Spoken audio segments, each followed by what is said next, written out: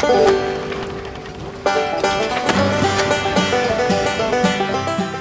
the net, Dan! Why are you just standing?